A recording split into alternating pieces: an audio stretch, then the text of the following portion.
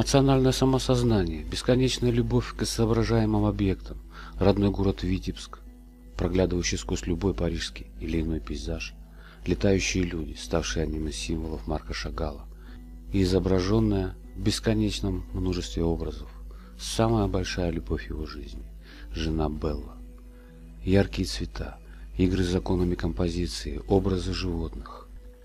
Все это особенности творчества еврейского художника, который жил в России, Франции, Америке и все же остался еврейским художником, сохранил свою самобытность. Марк Захарович Шагал. Шагал создал собственный уникальный стиль живописи, а также делал фрески и витражи. Разрабатывал театральные костюмы и декорации, иллюстрировал книги и сам писал их. В нашей жизни, как и в палитре художника, есть только один цвет, способный дать смысл жизни и искусству, цвет любви, писал Марк Шагал в своей книге «Моя жизнь». Все его картины наполнены этим цветом, как была им наполнена жизнь его. Разговор о Марке Шагале в отрыве от его любви, от тех, кого он любил и кем дышал, перенося это на холст, был бы сухим перечислением фактов. Моисей Шагал родился в Витебске 6 июля 1887 года в семье приказчика. Мир встретил будущего гения пламенем костра. В городе пылал пожар. Красный цвет он позднее назовет цветом кошмара. Над его продавцом газет, предвещающим войну, небо пылает алым. Отец мечтал, что сын станет хорошим бухгалтером, в крайнем случае приказчиком. А Шагал рисовал, рисовал, рисовал. Однажды к нему зашел друг. Посмотрел на стены комнаты, густо увешанные рисунками, и воскликнул. «Да ты настоящий художник!» «Художник!» Это слово было будто из другого мира. Мира, который манил к себе Моисея Шагала больше, чем что-либо на свете.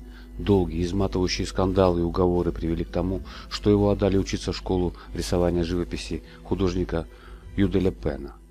Очень быстро стало понятно, что ограничиться Пеном не получится, этого мало.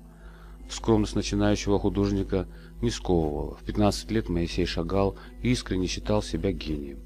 Он полагал, что только Рембрандт мог бы чему-то его научить по-настоящему. Но где же его возьмешь, Рембрандта? Строптивый, уже точно не получившийся на радость родителям-бухгалтерам, Шагал выпрашивает у отца деньги и уезжает в Петербург. Там Академия художеств, там рай. Реальность отвесила юному дарованию жесткий щелчок по самолюбию. Первый и последний в своей жизни официальный экзамен он завалил. В 1909 году Шагал возвращается в Витебск, разочарованный, опустошенный, не нашедший того, что искал, и не сумевший примкнуть ни к одной школе. Он пишет об этом времени. Я бродил по улицам, искал чего-то и молился. Господи, ты что прячешься в облаках или за домом сапожника? Сделай так, чтобы проявилась моя душа, бедная душа заикающегося мальчишки. Яви мне мой путь. Я не хочу быть похожим на других, я хочу видеть мир по-своему. В это же время в Витебск из Петербурга вернулась Берта Розенфельд, которая войдет в историю искусства как Белла Шагал. Она мечтала стать актрисой, ей прочили успех, но серьезная травма на репетиции поставила крест на актерской карьере. На момент встречи в Витебске оба считали себя неудачниками. По одной версии они случайно пересеклись и разговорились на мосту над Витьбой. По другой встретились в гостях у подруги Берты, Теи Брахман. У Теи была любовная связь с Шагалом, и она позировала ему обнаженной. Именно с нее написано чувственное «сидящая красная обнаженная». Не столь важно, где произошла встреча, важнее, что она поразила обоих самое сердце.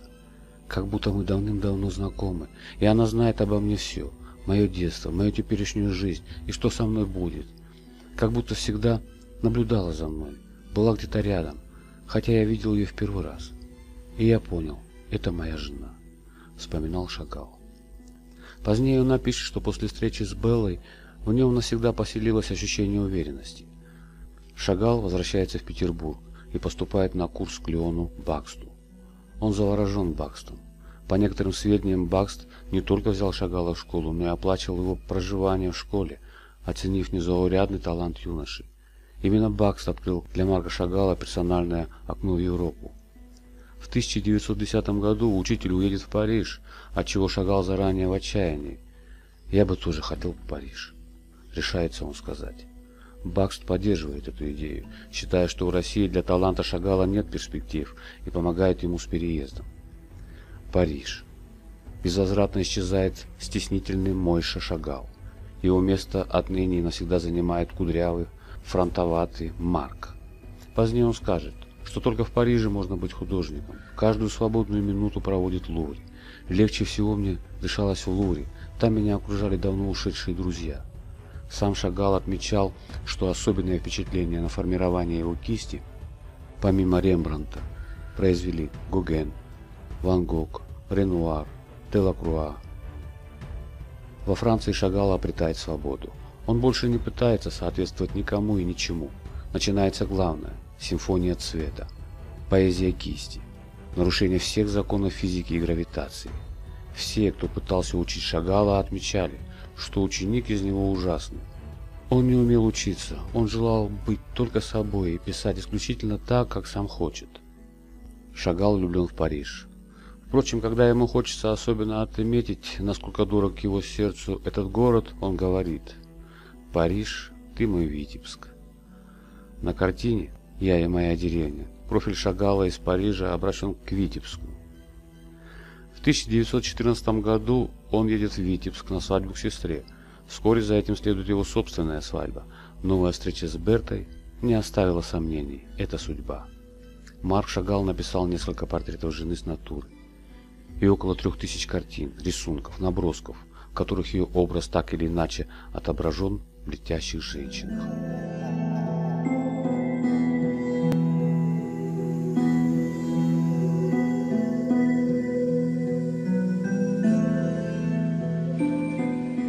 Над городом одна из самых знаменитых картин Марка Шагала. На ней художник изобразил все, что у него было важного в жизни на тот момент. Самого себя, любимую жену Беллу и Витебск.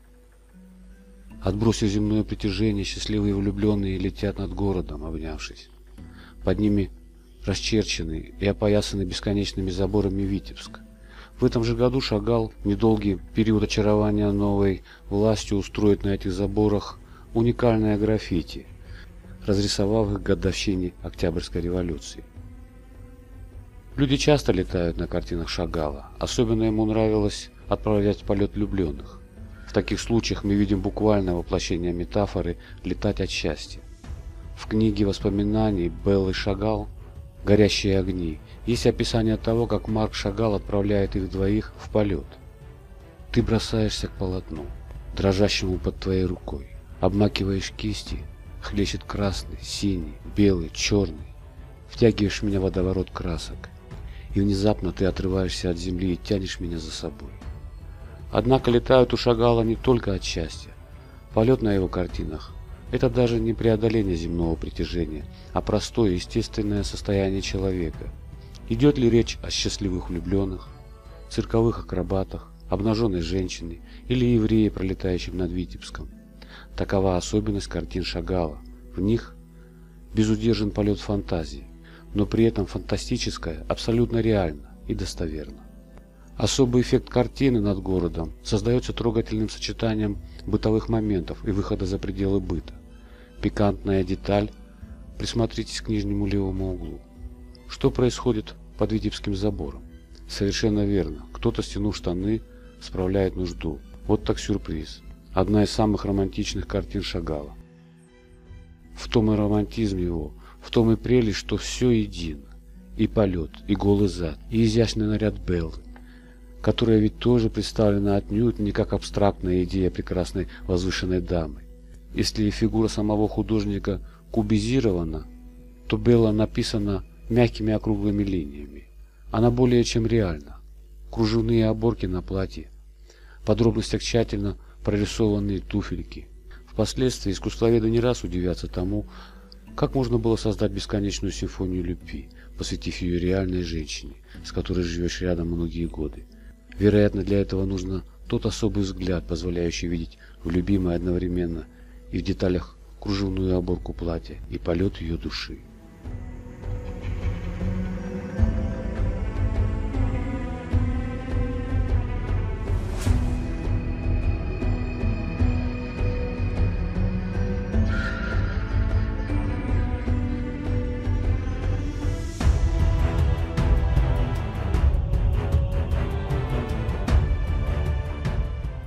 Картина «Обрученный и Эйфелева башня» представляет излюбленный сюжет Марка Шагала «Летящий влюбленный».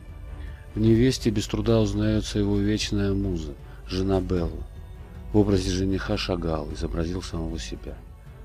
Люди, преодолевшие земное притяжение, частые герои картин Марка Шагала. Хотя не совсем верно говорить, что на картинах Шагала преодолена гравитация. Речь даже не о преодолении, которое предполагает борьбу и усилия. Для изображенных Шагалом фигур полет естественен, как дыхание. Мы не преодолеваем сопротивление воздуха для того, чтобы его вдыхать и выдыхать. И герои картин Шагала не преодолевают силу тяготения. Она в их пространстве попросту не действует. Обрученный и Эйфелева башня показывает нам два любимых города Шагала. Сложно не заметить Эйфелеву башню ярко-синяя, узнаваемая. Она заполняет задний фон.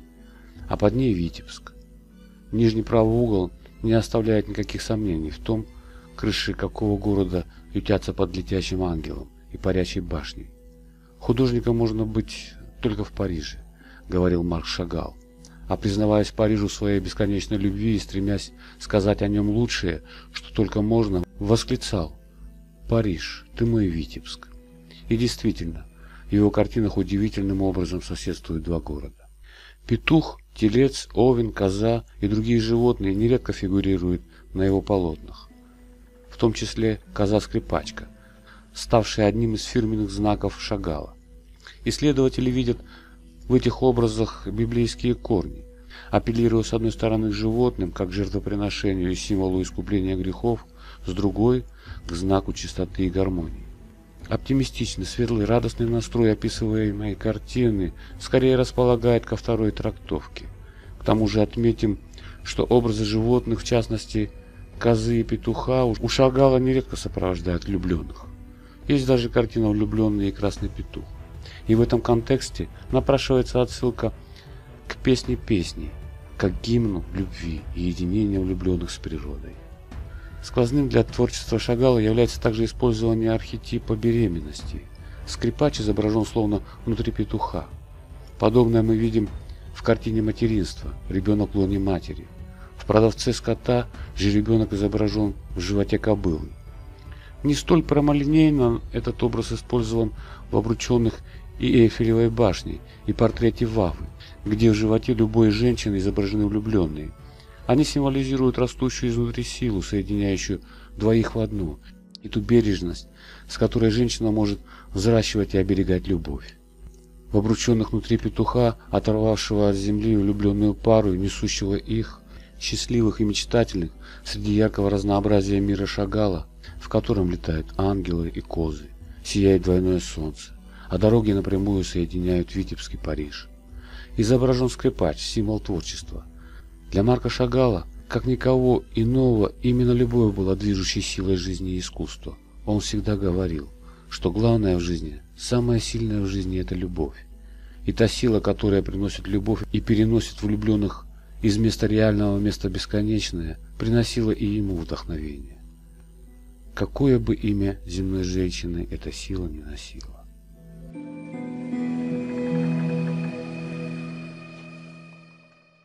1916 году у счастливых супругов рождается дочь Ида. А тем временем в игру вступают другие силы. Россию сотрясают катаклизмы. Шагал был среди тех, кого новая власть поначалу вдохновила. Ему более не указ напыщенные академики и затвергшие его Академии искусств. Да и социальная пропасть между дочерью ювелира и сыном приказчика рухнула, захваченный свежими как тогда казалось, переменами Марк Шагал даже некоторое время занимал пост уполномоченного по делам искусства Витебской губернии. К первой годовщине октября Шагалу поручено украсить город. Витебск был опутан бесконечными заборами. Более сотни городских маляров под руководством Марка Шагала раскрасили заборы. Стены и все, на чем можно было рисовать. Такого граффити мир еще не видел. Авангард выходит на первые роли. Шагалу кажется, что он нашел свое место. Он организовал в Витебске школу искусств и пытался в ней преподавать. Затея потерпела крах. Он хотел, чтобы его ученики, так же как он, раскрыли свой талант. А обучение техническим моментам ему казалось слишком скучным. Тогда возникло противостояние между Марком Шагалом и Казимиром Малевичем. Основатель супрематизма собирался лепить из своих учеников не гениев, а профессионалов. И действительно, через пару месяцев в Третьяковке прошла выставка картин учеников Малевича. Шагал становилось все теснее. Вместо отринутых устоев появляются новые рамки, за которые не рекомендуется выходить. Мы наш, мы новый мир построим. Абстракционизм и отрицание прежних ценностей правят бал. А Шагал в это время пишет какие-то цветы, женщин, Витебск. Его упрекают в приверженности к устаревшим формам и называют староватором. Белла все более настойчиво твердит об эмиграции. Шагал с женой уезжают сначала в Москву, затем в Берлин. И, наконец, 1923 год, Париж. Здесь он перекрестит Берту Беллу. Он здесь счастлив, успешен, востребован, много пишет. На картинах, как всегда, присутствуют Белла и любимый Витебск. Художника находит единственный учитель, которого Шагал признавал, Леон Бакс, и говорит, вот теперь ваши краски поют. Это успех. В это время Европа сходит с ума, к власти пришел Гитлер. Из Парижа Шагалы уезжают в последний момент, когда город уже оккупирован. 22 июня Германия объявляет войну Советскому Союзу, а Марк Шагал с Беллой видят статую свободы. В Америке его хорошо принимают, но сердце рвется в Европу. В 1944 году Париж освобожден. Белла торопит с отъездом. За несколько дней до запланированного возвращения ей становится плохо, у нее стремительно развивается вирусное заболевание, и буквально на руках у Шагала его муза умирает. Марку Шагалу кажется, что он никогда больше не возьмет в руки кисть и не прикоснется к холсту. Зачем это все, когда главная героиня его картин и его жизни покинула его? Девять долгих месяцев Марк Шагал не пишет, не спит, не ест и едва дышит. Вытащила его дочь Ида. Сначала она увлекла отца работой над иллюстрациями к написанной Беллой книге воспоминаний «Горящие огни», а потом наняла ему сиделку, удивительно красивую женщину, лицом похожую на ее мать. Вирджиния Хаггард, младше Шагала более чем на 20 лет. Вскоре она родила ему сына, Давида. 1947 году Шагал с Вирджинией все же возвращается в Париж, но очень скоро она, прихватив сына, сбегает с фотографом, приехавшим к ним в дом, делать материал о гениальном художнике. Если к Белле все искусствоведы относятся с трепетом, то последней спутнице Марка Шагала, Валентине Бродской, повезло куда меньше. Вала, как ее называли друзья и близкие, блистала в парижском обществе. Познакомила их снова Ида стремясь вдохновить отца. В 1952 году Вава стала женой Шагала и заодно врагом многих искусствоведов. Ее упрекают в том, что она подмяла под себя художника и командовала им. Вину Ваве ставят подрезанные крылья Марка Шагала. Некоторые исследователи противопоставляют Беллу и Вау по такому принципу. Белла была музой и вдохновением, а Вава менеджером. Говорят, что из-за нее Шагал разрушил отношения практически со всеми близкими людьми, зато стал очень дорогостоящим и востребованным художником. Вдова Андрея Вознесенского, Зоя Богусловская, не согласна с этой версией. Она отмечает, что регулярно бывала у Марка Шагала и Вавы. Он не замечала приписываемых жене художника деспотизма и назойливости. А вот окружить гения уютом и оградить от всего, что могло бы Помешать его творчеству Ваве удалось. Сегодня не найти однозначного ответа на то, кем стала для Марка Шагала его последняя любовь. Но может стоит прислушаться к словам художника? Слава Богу, Вава возле меня. Она затмевает своей красотой всех женщин Витебска. И главное, Шагал снова много пишет, в том числе Ваву. Если фоном для изображения Беллы их родной Витебск, то Ваву художник изображает в Париже. Чтобы уже точно сомнений не осталось, на портрете Вавы различимы и Эйфелевая башня, и Парижская опера. «Париж, ты мой второй Витебск», – писал Шагал. Возможно, и Вава стала его второй Беллой. «Тебя только вижу, тебя живущую ради меня». Это о второй жене. Так легко и навсегда отменивший законы гравитации на своих картинах, Шагал, чьи люди летают столь же легко, как дышат, умер в лифте своего дома, оторвавшись от земли, так как это умел только он.